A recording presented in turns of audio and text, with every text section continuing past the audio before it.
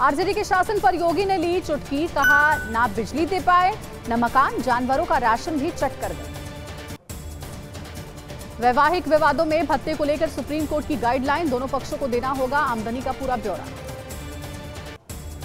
पश्चिम बंगाल में आसनसोल के DPL unit के गेट पर जोरदार धमाका, एक शख्स की मौत, एक सुरक्षा गार्ड गंभीर रूप से घायल।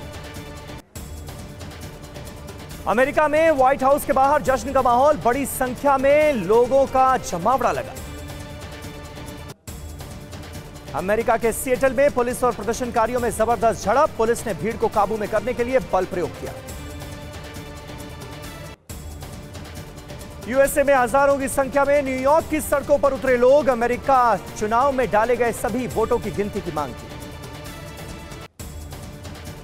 चुनाव में वोटों की काउंटिंग में धांधली का लग रहा है आरोप।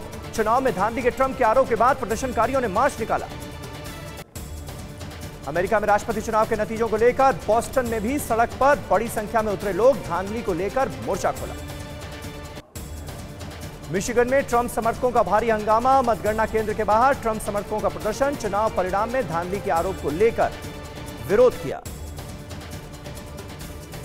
पीएम मोदी आज निवेशकों से करेंगे संवाद शाम छह बजे। वीडियो कॉन्फ्रेंसिंग से ग्लोबल इन्वेस्टर राउंड टेबल मिलेंगे हिस्सा। देश में नए निवेश को लेकर होगा मंथन।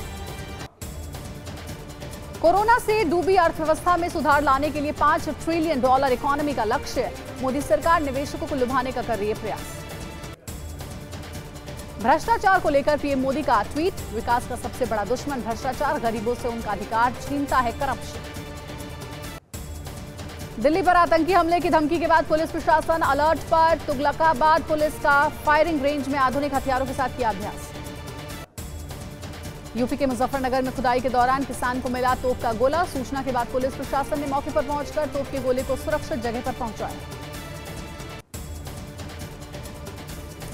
नेपाल दौरे पर army chief general Manoj Mukund Naravane वीर स्मारक पर नेपाल के बहादुर सैनिकों को देंगे श्रद्धांजलि। आर्मी चीफ को दिया जाएगा नेपाल सेना के जनरल की मानद रैंक की उपाधि। नेपाल में आर्मी चीफ नरवड़े का दिखा भक्ति अंदाज। काठमांडू में पशुपतिनाथ मंदिर जाकर लिया आशीर्वाद।